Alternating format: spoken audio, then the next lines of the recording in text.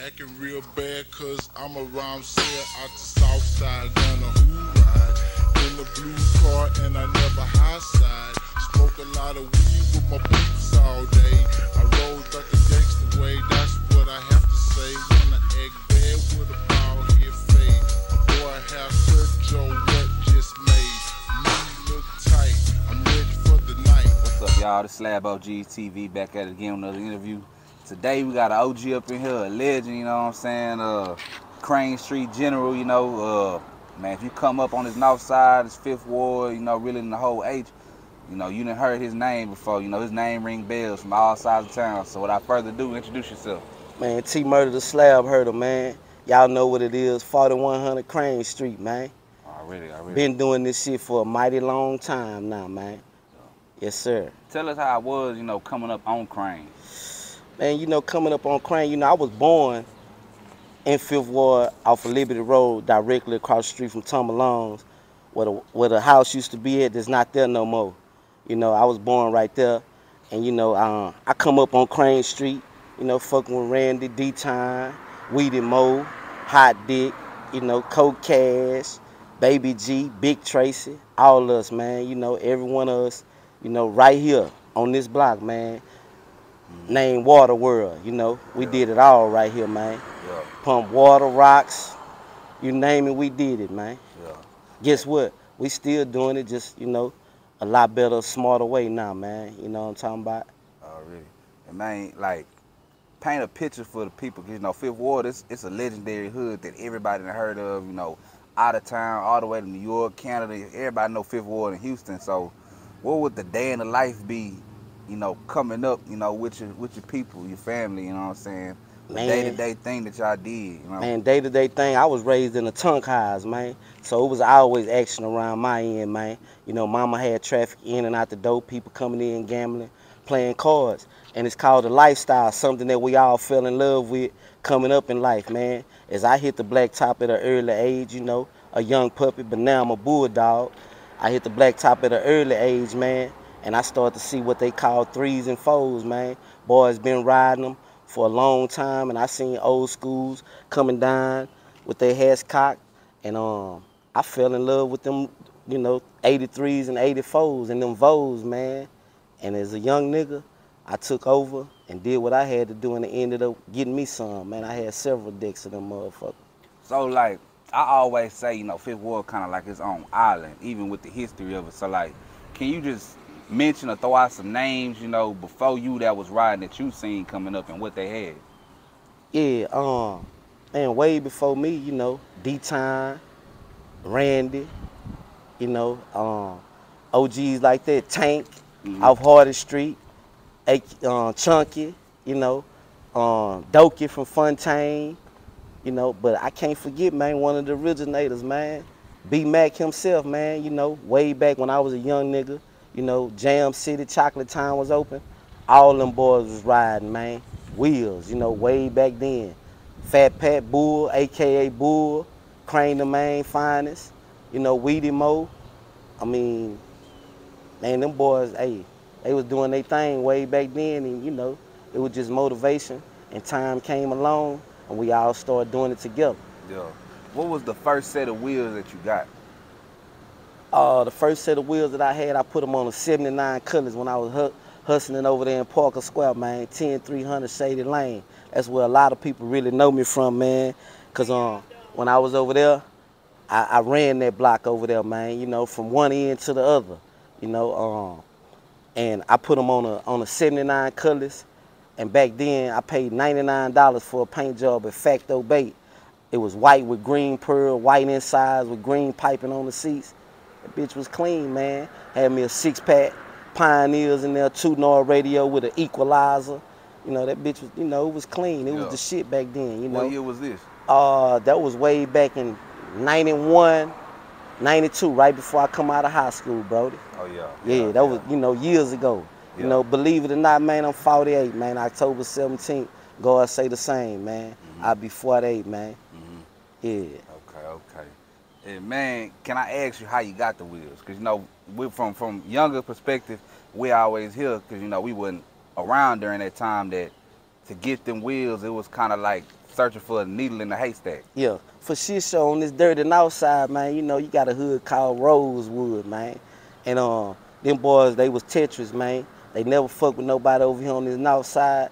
When they ride out, they hit that south, east, west, and they do their thing. And all you had to do was page one of them, they hit you back. Hey man, this T Murder, man. I'm trying to look for me a set of wheels, 90 pieces, headlights, you know, radios, whatever I wanted. You put your order in, they gonna pull up on you, man.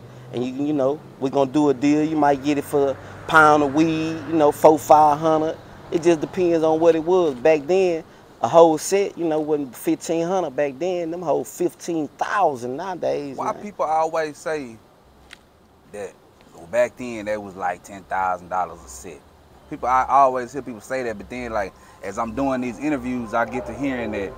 Nah, we back then. Nah, like in the early early days. Nah, we find some set for like fifteen hundred, five hundred dollars. Man, if somebody told you back then that a set of wheels cost ten thousand, they don't know what they talking about. You know, threes and fours, man. You can buy them rusted out or whatever, man. And they had Mr. Davis over there on Cullen, man. You exit the freeway, been there right, he right there on the left hand side, man. He used to dip them for you, 300, 300 a rim, you know what I'm saying? And uh, when he got through with them, they was glass, man. You could see yourself like you looking in a mirror, you know. Um, 10,000, man, that's ridiculous. Yeah. But they are 10,000 to sit now because they made the world a little better, man. They got everybody riding them. Back when we was riding them, when they were 1,500 a set, you had to really ride with that banger. And you had to show them that you had it, you know, because cars pull up on you. And, man, back then at the red lights, they were jumping out on you, man, taking them wheels, man. They had blood on them, man. Yeah. You know, they was hard to get. Everybody ain't have elbows like they do today, bro. Like when you say that, and everybody didn't have elbows. How many sets you think was around during this time? Oh man, it was it was quite a few. You know what I'm saying? I could say, you know, hundreds. You know, niggas on the south had elbows. That's one thing I say about them boys out there, man. No hating on this end, man. They took pride in their ride, man. They kept they kept some glass on something out there, man. You know, and boys out here had them as well. You know, we had them as well. I can't I can't even begin to guess how many sets because we talking about H Town, the mm-hmm. fourth largest in the in the U.S. Man. Yeah. You know, so they everywhere. Some people didn't even ride them. Just like today, you know, we talking this slab talk. You got some clean shit out there, man, that people really not seeing. Cause boys keep they shit put up and just ride them on occasions. You know what I'm saying? Mhm. Yeah. Okay, okay. Man, can you speak on this Lincoln that you had back in the day? I heard it had a Sega Genesis in there. Uh, Yeah. was it red? Yeah. For shit show. and for it shit had show. T Murder the Slab hurt in the trunk. Right on, right on. Man, I, I paid 7500 cash for that Lincoln. I bought it right there off of man. Off of North Shepherd Drive, man. I paid 7500 It was white. I already had the elbows. I bought them probably from either Lil Alvin or David Glenn or somebody. I put them on there. I rode them for a month or two. And then I took my car right here off of Fulton to old Henry, man, Mirror Image. Any of you boys from the north side, y'all remember Henry, Mirror Image. He painted it cobalt blue. It was clean, man. And uh, he painted in 9-7 and 9-8. Um, me and the whole Rap-A-Lot family, we went to um, the Vaughn, Bean, and Holyfield fight, Evander Holyfield fight in Atlanta, Georgia. And I drove to Stankin' Lincoln all the way down there and all the way back on glass, man, with no problems. I'm talking about poking. Yeah. Wasn't doing no joking, man. Clean on five, you know. And then um, I came on back home. I had a spot right around here, 4100 on Falls. Me, Duche, Will, we was pumping it up over there. I came on home. I put my car in the shop, and I sent it to Ike, man. I sent it to the south side. That's when um, Lil Troy and them was out. Switches World Tight got sprayed by Ike. I hit the highway, man. Once I hit that highway to Atlanta and back, man, I said, man, I gotta paint this bitch red, man. And can't nobody paint it but Ike. You know what I'm saying? So I sent my car to Ike. He charged me a bankroll, but um, I got it done. Yeah, okay, okay. He We- charged me a little money, not compared to what What it is if now. I if I'd have took that same car today and took it to Ike, I'd be out of 30 or 40, man. Yeah. You know what I'm saying? I spent 12 5 with Ike back then, and let me tell you what he did That's for a lot. For, for in the 90s, that's a lot. Yeah, I Yeah. mean, but I built it though. Yeah. You see what I'm saying? See, that's the difference between a slab and me buying a new car and putting some wheels on it and putting a bumper kit on it. and calling it a slab. You know what I'm saying? That's a different. I could do that right now. Out of one one of these motherfuckers, mm-hmm. out of one pocket, I could do that. You know what I'm saying? Go buy a brand new car, put some wheels on it, and call it a slab. That's not a slab, man. Yeah. That's a toy, if anything. When you took it to Atlanta, was there any people from Atlanta just kind of like, damn, what is it? What is that? What is Oh yeah, they was amazed, man. It was a different color. It was cobalt blue. You know, and down there they ride gold on everything. You know what I'm saying? So they had, you know, big twenties was out back then. Gold they had twenties, the gold Daytons and gold big rims, gold discs. You know what I'm saying? I'm coming through that bitch. I'm talking about beating hard. 450. I mean, yeah, I had 415s. Beating hard, you know, clean, looking good on these chrome rims, poking out, you know what I'm saying? And you know, back then, what I was riding was the shit, you know what I'm talking about? And they still the shit to this day because they classics. You know what I'm saying? Yeah. And you got niggas that's riding super longs, a nigga pull up on him clean. I'm talking about clean, man. But he riding on originals, that nigga laugh at him today. Yeah. You know what I'm saying? But you know, that's how it is. What made you put T Murder Slab Hurter in your trunk? And you know, they been calling me T Murder for a while. You know, I come up in the bloody nickel, you know, did some things, you know. As a young nigga, I was told I wasn't gonna live to see 15. Mm-hmm. You know, then it came to be 21. Boom, went to the penitentiary, come out, you know what I'm saying? And, you know, here I am. I'm still here 48, 48 years old today. And so um, I put T Murder the Slab Hurt in the trunk because when I built the Lincoln, and that song was I got sprayed by Ike, all that old kind of good shit. You know, and I got I originally got sprayed by Ike, man. I wasn't bullshitting, man. I spun a bankroll with him and um got what I had to get done. Mm. And uh, I was one of the cleaners in H Town, man. I ain't just gonna say on the north side in H Town, man. You know, I was clean. You know, T murder the slab hurter. Man. And that's exactly what I was doing. I was hurting the slab back then. I was wrecking their ass. Every time I pulled out, they knew what time it was. Man, did you have any run-ins with, you know, any carjackings or new people who got carjacked? Yes, sir. Yes, sir. Um, right off of Bennington, man, I got shot at. You know, I had to run and leave my car. I was at the store right there across the street from Auto Villa. You know what I mean? Behind them elbows, man, behind them rims, you know. And um, my mama lived all over H Town, you know. And uh, my mama lived right there in Trinity Garden off of Billington and Ralston. And I had my car parked off on the side of the highs, man. And uh, they pulled up and broke me for three of them. You know what I mean? They broke me for three of them. And at that time, my sister, she was driving school buses. I had a highs out there in Acres Home. I was sleep full of that all. My little brother and them came beating on the door, got me up, and told me somebody stole three of my rims. My brother-in-law shot out the um, window of my mama house. He hit one of them because blood was on her garage and shit. But um, they got away with the little old three. But I had another set right there in the house. I bolted up, got wind of who did it. You know what I'm saying? Rode through there, was fit to take action. But you know, other shit came into play. It didn't happen. Thank God it didn't happen because you know, man, it's easy to you know take care of your business out here, man. If you just really had to behind them things back then, man. Cause um, when you when you rode on elbows back then on Lil Warren, you had to, you, you had to um, protect yourself for real, man. You know, it had to be somebody behind you in a car, ain't nobody know with them tools, or you gonna take that chance and ride with that bitch yourself, cause you had to have it back then. What made y'all kind of just be like, I'm gonna take all them chances, all the risks, you know, of getting shot at, you know, the police messing with me, to be like, I'm gonna still be out here riding with you. man, I was built for the streets, man. You know, I was born in Fifth Ward, raised in Fifth Ward. You know, I'm hard. You know what I'm saying? It wasn't about just being hard. It was just about taking that chance. I'm already doing what I'm doing, so I, I just stayed down and I rolled with mine. You know, had to shoot at niggas, popped a couple of niggas. You know what I'm saying? Mm-hmm. All that took place because that's what had to be done back then. You know what I'm saying? You you couldn't be doing no pump faking, man. If you had a set of glass threes and fours, back in the day, you was the shit, man. You know, and other shit came with it back then. You know, you had the wood grain, um, Grant steering wheel kit. You had pull out radios. Man, you had all that shit in your car. You was the man, man. I had Sega Dreamcast. I had the wood grain kit.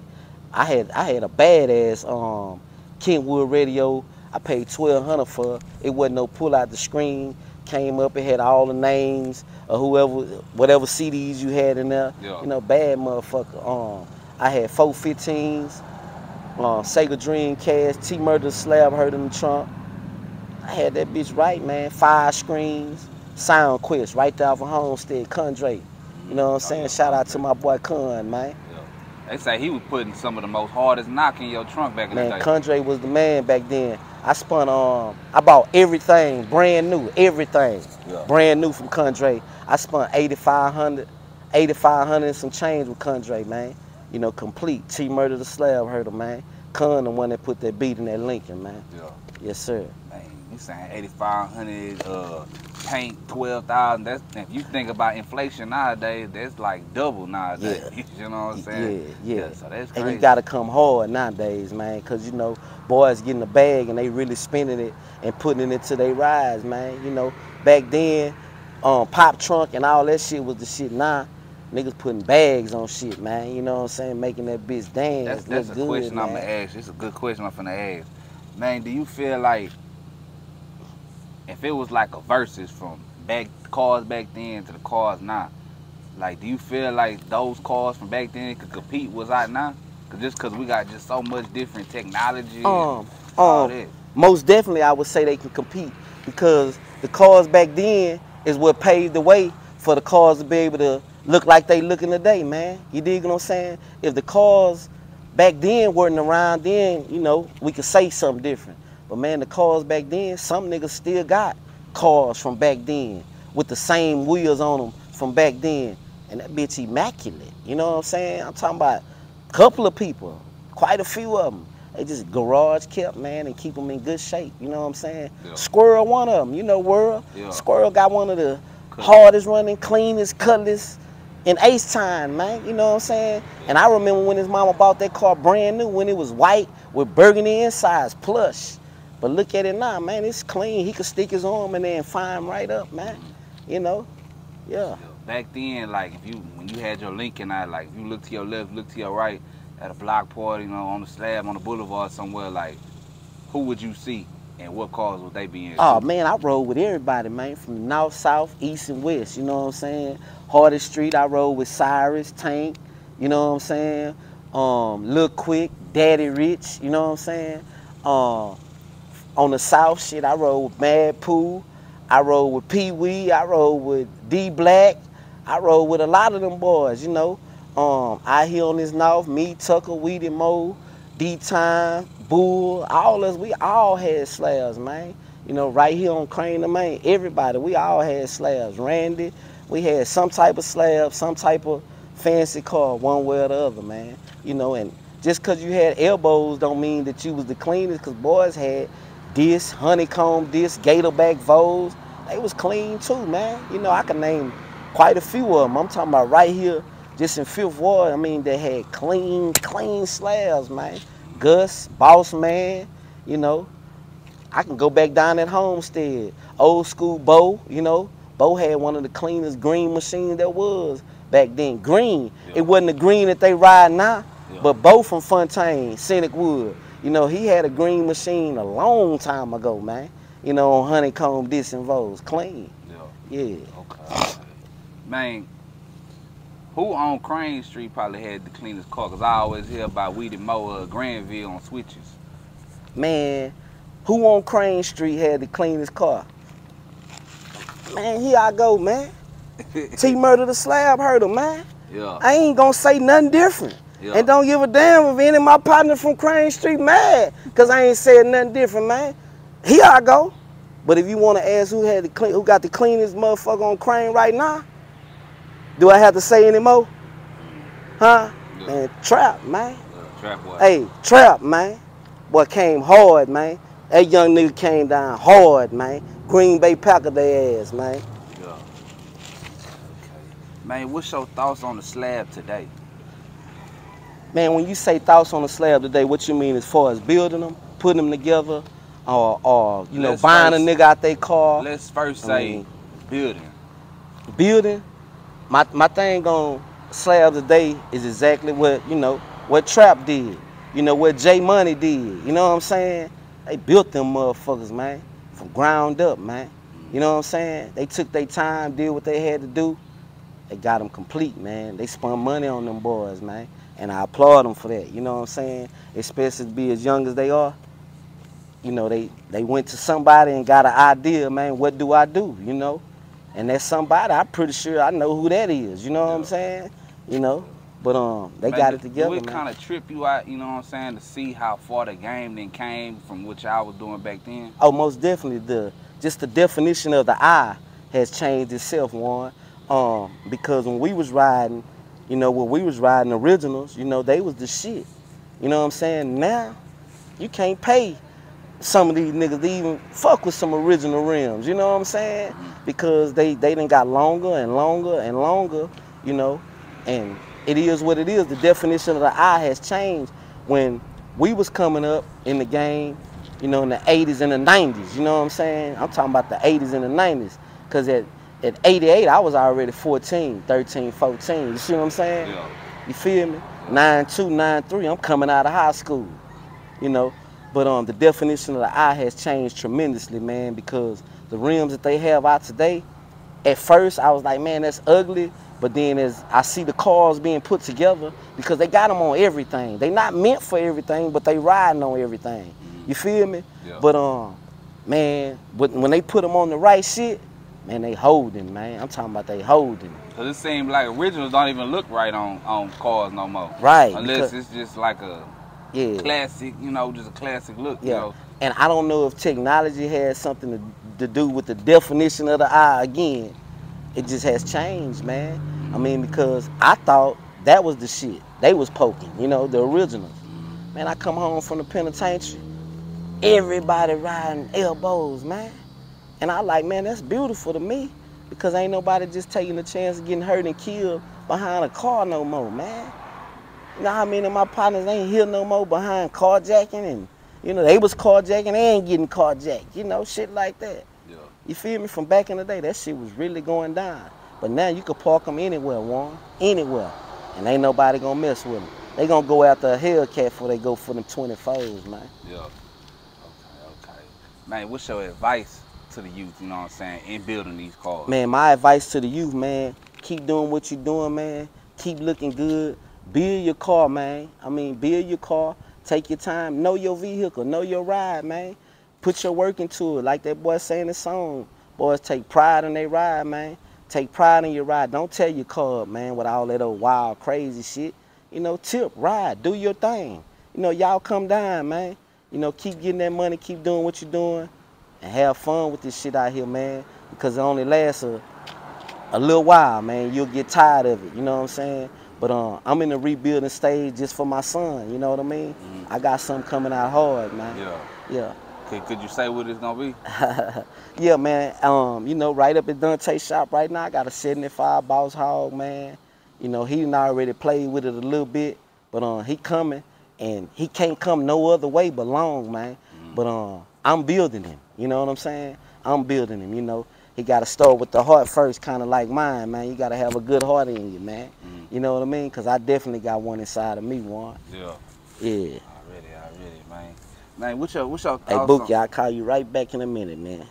what's your thoughts on, you know, uh you know, nowadays it's like a thing that everybody doing is like damn near racing their cars, you know what I'm saying? What's your thoughts on that? You know, seeing the videos, people wrecking their cars. Yeah, I think it's I think it's it's foolish, man, because they're so long, and you already got the po- the popos, you know, really want to chalk you up, tow your car, you know what I'm saying, make you spend some more money.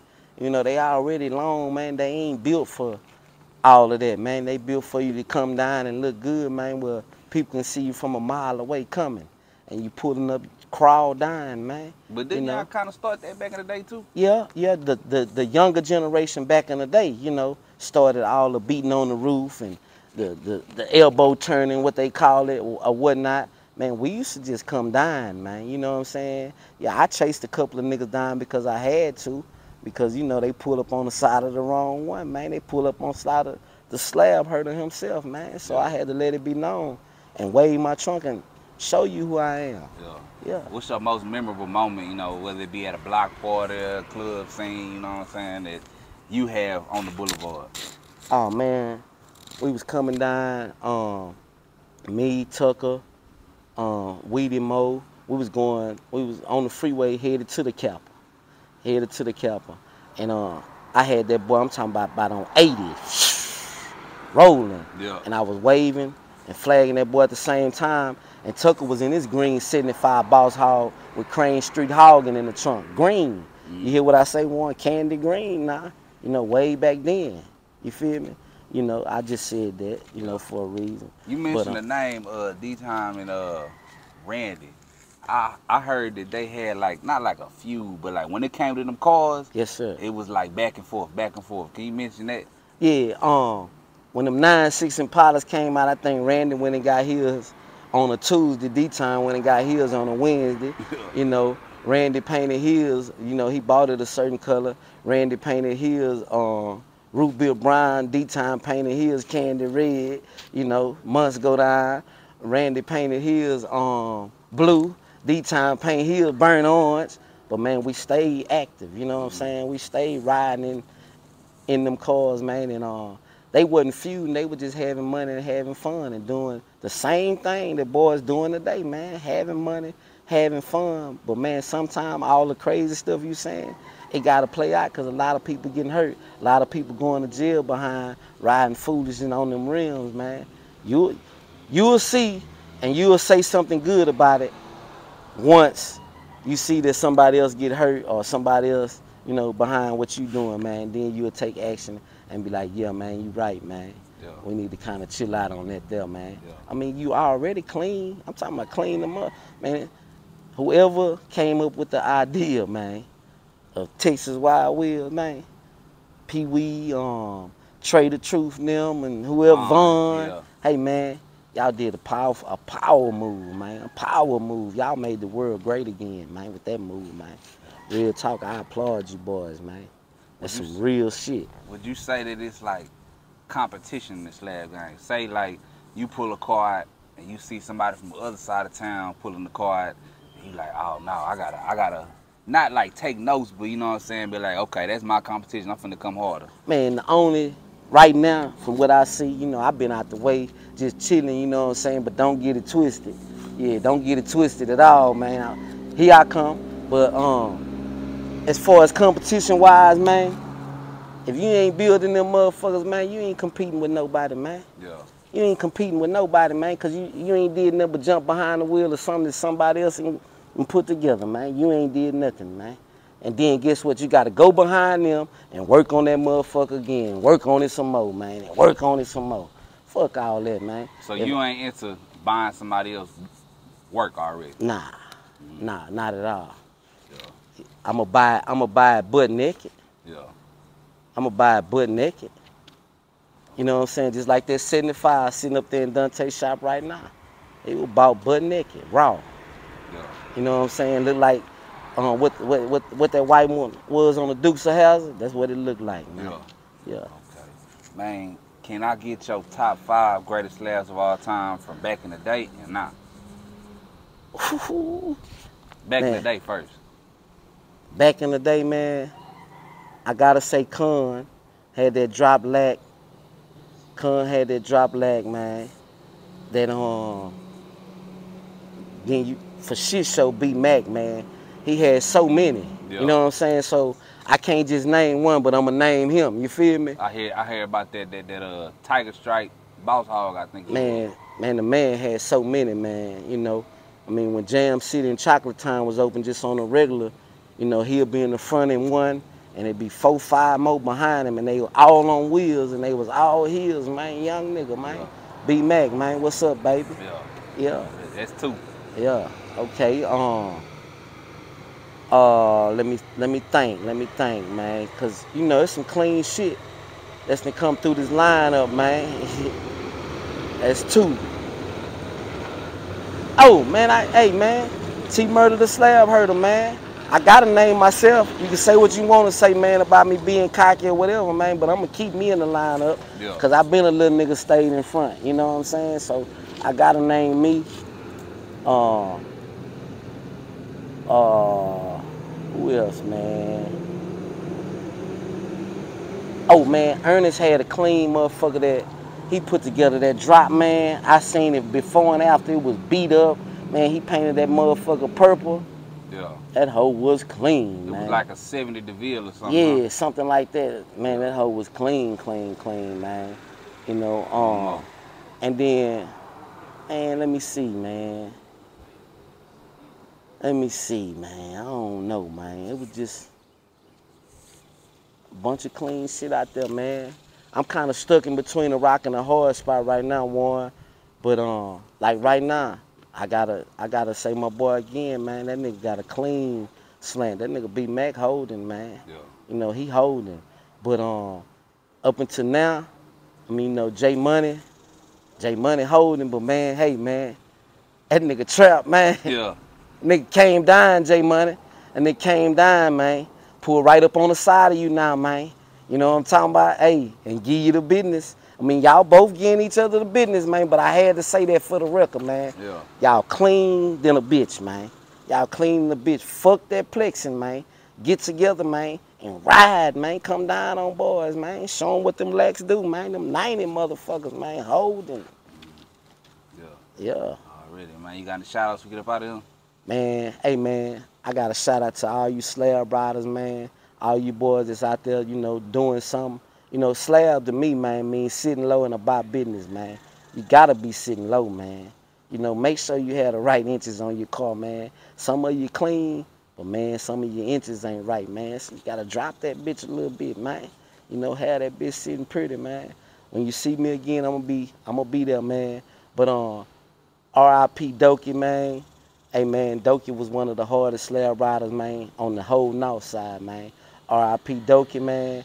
Yeah, I got a shout out to my boy OG Gus, man. Fifth Ward OG Gus. Um, B Mac, what's up, baby? DD Mac. You know, um, Chico, the whole Fontaine squad, man. Polo, what's up, baby? Polo the Don, Lil Mark, man. Shout out to Lil Mark. Hey man, them boys coming out hard, man. Y'all just keep watching them, man.